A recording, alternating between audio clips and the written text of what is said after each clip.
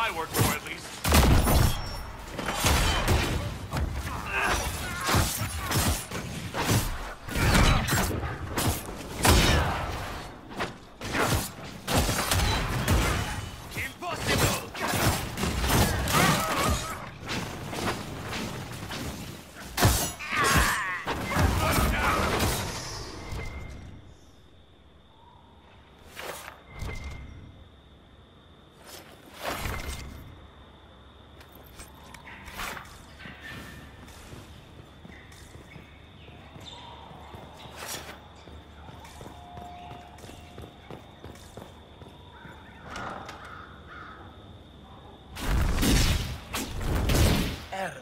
Andraste.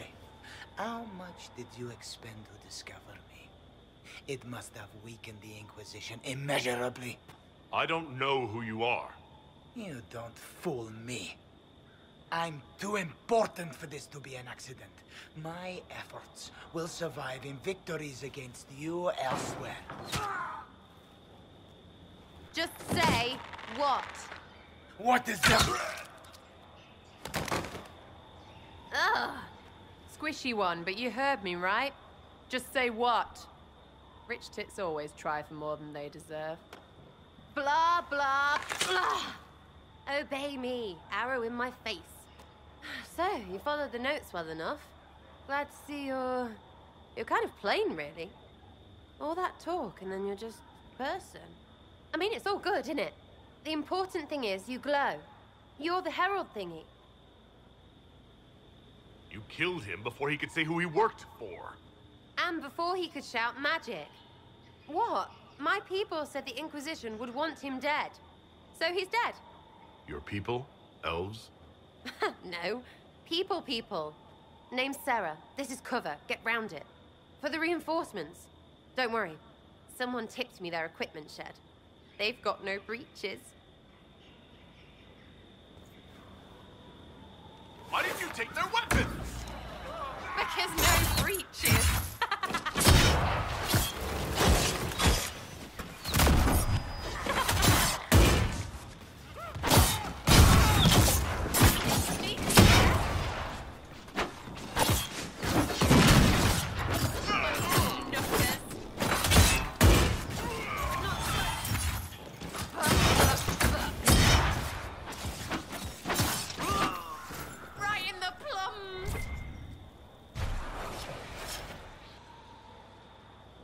Friends really came through with that tip. No breeches. so, Herald of Andraste. You're a strange one. I'd like to join. Could we take a few moments for sense to reassert itself? Who are you people? I'm not people, but I get what you want. It's like this. I sent you a note to look for hidden stuff by my friends. The Friends of Red Jenny. That's me. Well, I'm one. So is a fence in Montfort, some woman in Kirkwall. There were three in Starkhaven, brothers or something. It's just a name, yeah? It lets little people, friends, be part of something while they stick it to nobles they hate. So here, in your face, I'm Sera. The Friends of Red Jenny are sort of out there. I use them to help you. Plus arrows. The Inquisition has spies already. Can you add to these professionals? Here's how it is. You important people are up here, shoving your cods around. Blah, blah, I'll crush you, I'll crush you. Mm, Ooh, crush you. then you've got cloaks and spy kings, like this tit. Or was he one of the little knives, all serious with his little knife? All those secrets, and what gave him up? Some houseboy who don't know shite, but knows a bad person when he sees one. So no, I'm not knifey shiv dark, all hidden. If you don't listen down here too, you risk your breeches. Like those guards, I stole their... Look, do you need people or not? I want to get everything back to normal. Like you. So who are your friends of Red Jenny? You must know them. Oh, it's not hard to understand if you're not trying to waste your day on it. Someone little always hits someone big. And unless you don't eat, sleep, or piss, you're never far from someone little. Doesn't always work out, but a lot of people hated this guy. Someone got a laugh, someone got even, someone got paid. And someone has to have explained to them that free help is good. Back there, you wanted to know if I glow. Why? That's what you do, innit? You walked out of somewhere and now you glow. Andraste's herald. True or not, it seemed like the easiest way to know it was you. True or not? Well, that's what they say and all. Look, don't get ahead, yeah? I want to help this... whatever it is. Inquisition. All right, Sera. I can use you and your friends. Yes! Getting good before you're too big to like. That'll keep your breeches where they should be. Plus extra breeches because I have all these... You have merchants who buy that piss, yeah? Got to be worth something. Anyway, Haven. See you there, Herald. This will be grand.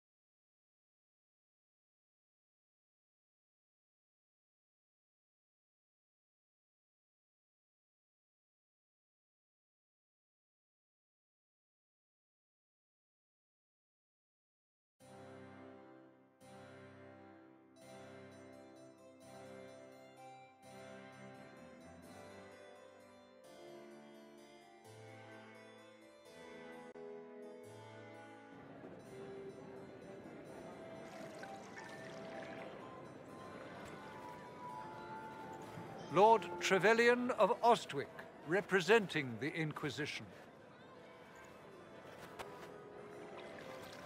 A pleasure, sir.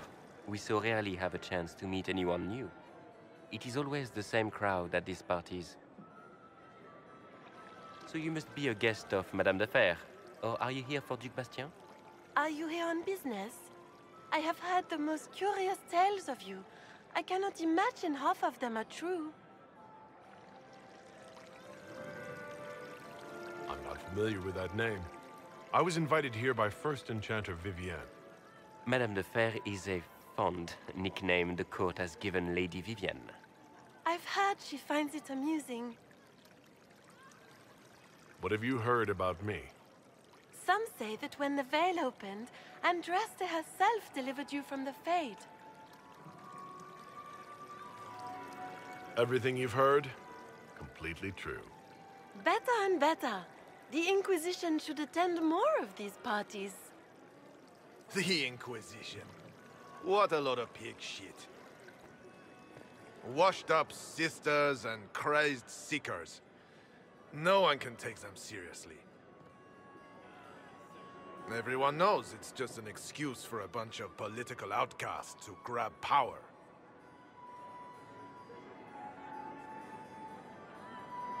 I was chosen by Andraste herself to carry out the Maker's will. You dare to speak of the Maker's will, with foul magic dripping from your hands. We know what your Inquisition truly is. If you were a man of honor, you'd step outside and answer the charges. My dear Marquis, how unkind of you to use such language in my house to my guests. You know such rudeness is intolerable. Uh, Madame Vivienne, I humbly beg your pardon. You should. Whatever am I going to do with you, my dear? My lord, you're the wounded party in this unfortunate affair. What would you have me do with this foolish, foolish man? The Marquis doesn't interest me. Do whatever you like with him. Poor Marquis. Issuing challenges and hurling insults like some Ferelden doglord. and all dressed up in your Aunt Solange's doublet. Didn't she give you that to wear to the Grand Tourney? To think all the brave chevaliers who will be competing left for Markham this morning, and you're still here. Were you hoping to sate your damaged pride by defeating the Herald of Andraste in a public duel? Or did you think his sword would end the shame of your failure? Run along, my dear. Do give my regards to your aunt. I'm delighted you could attend this little gathering. I've so wanted to meet you.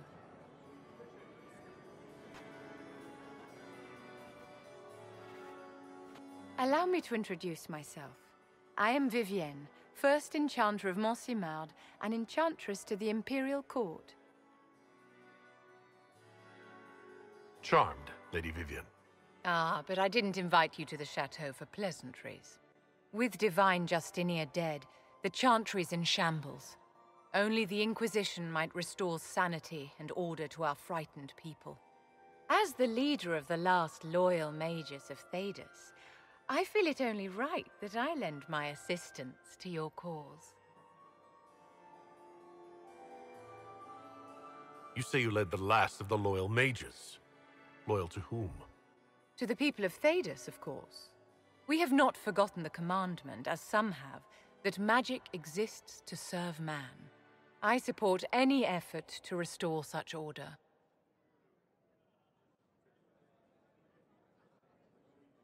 What exactly can you do for the Inquisition?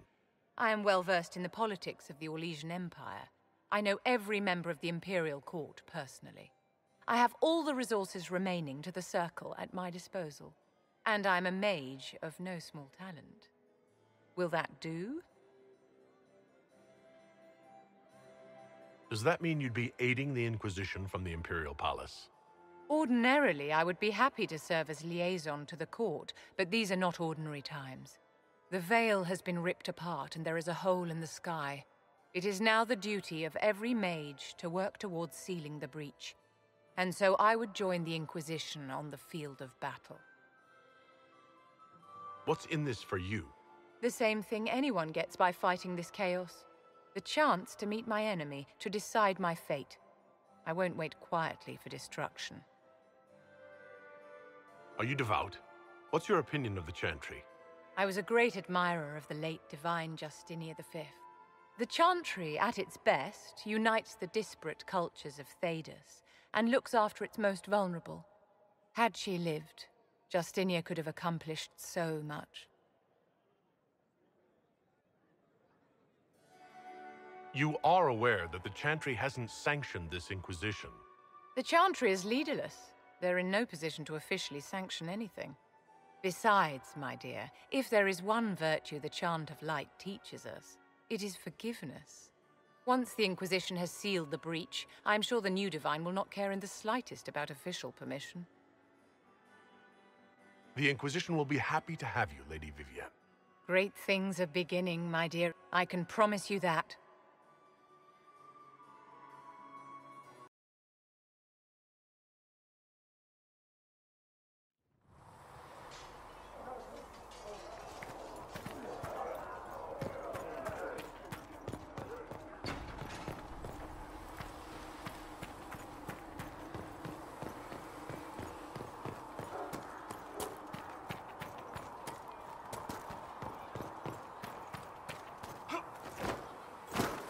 Master Harry said that without more...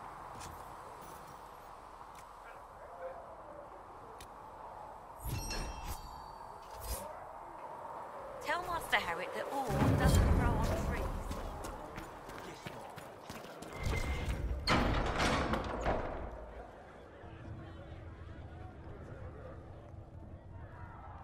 It's good you've returned.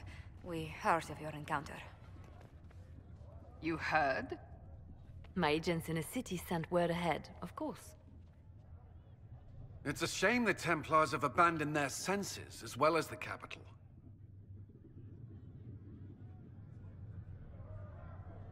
We had to do something, and now we have an opportunity. Yes, and we have the opening we need to approach the Templars and the mages. Do we?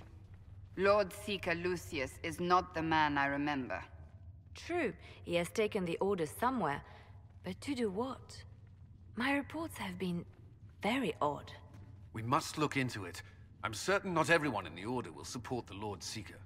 Or the Herald could simply go to meet the mages in Redcliffe instead. You think the Mage Rebellion is more united? It could be ten times worse. I could at least find out what the mages want. No doubt what they've always wanted. Support for their cause. We shouldn't discount Redcliffe. The mages may be worth the risk. They are powerful, Ambassador, but more desperate than you realize. So it'll be dangerous. I've been in danger since I walked out of the Fade. If some among the rebel mages were responsible for what happened at the Conclave... The same could be said about the Templars. True enough. Right now, I'm not certain we have enough influence to approach the Order safely. Then the Inquisition needs agents in more places. That's something you can help with. In the meantime, we should consider other options.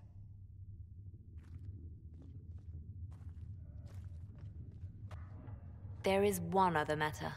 Several months ago, the Grey Wardens of Ferelden vanished. I sent word to those in Orlais, but they have also disappeared.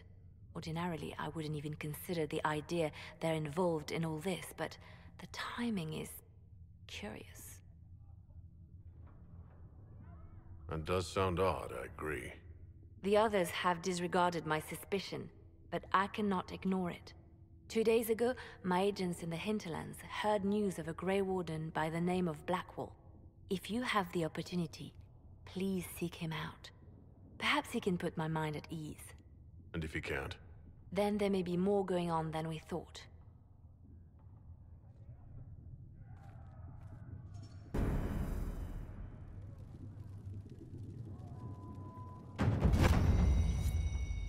I greet you. How are the people doing after what happened at the Conclave? They are scared, of course. Many have lost homes or loved ones. I doubt many will sleep well until you have sealed the breach. I have offered what help I can. The rest is for the Inquisition. What more do you wish to know? Farewell, revered mother. Until next time.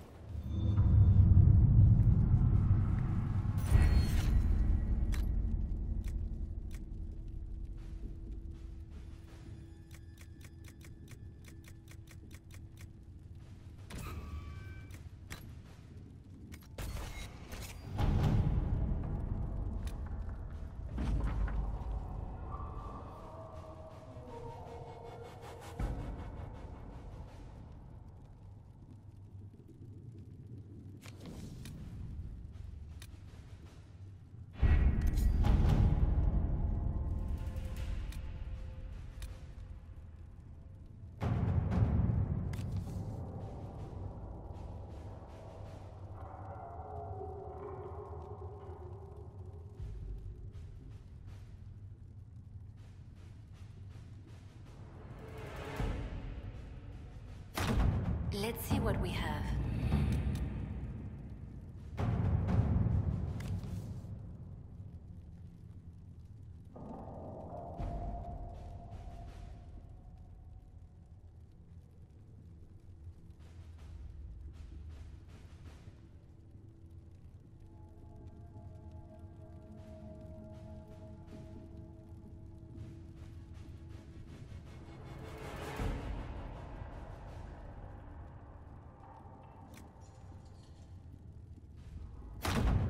At your service.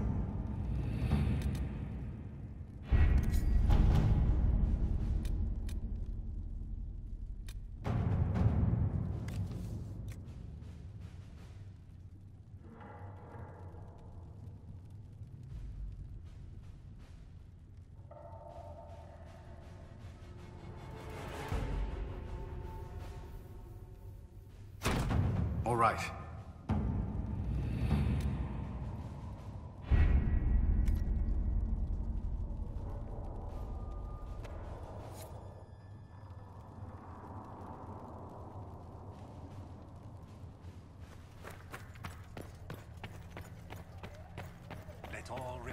Chant of light. Only the word dispels the darkness upon us.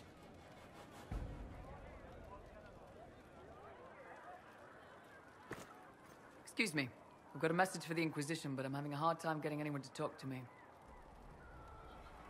Who are you, soldier? Cremisius Aclassi with the Bulls Chargers Mercenary Company. We mostly work out of Orlais and Nevarra. We've got word of some Tevinter mercenaries gathering out on the Storm Coast. My company commander, Iron Bull, offers the information free of charge. If you'd like to see what the Bulls Chargers can do for the Inquisition, meet us there and watch us work. What can your Bull's Chargers offer the Inquisition? We're loyal, we're tough, and we don't break contracts. Ask around Val Royeaux. We've got references. What should I know about your commander? Iron Bull. He's one of those Qunari, the big guys with the horns. He leads from the front. He pays well, and he's a lot smarter than the last bastard I worked for. Best of all, he's professional. We accept contracts with whoever makes the first real offer. You're the first time he's gone out of his way to pick a side. Why did your commander send us this information? Iron Bull wants to work for the Inquisition. He thinks you're doing good work. We'll consider your offer. I appreciate it. We're the best you'll find. Come to the Storm Coast and you can see us in action. only the word. Sing only the chant.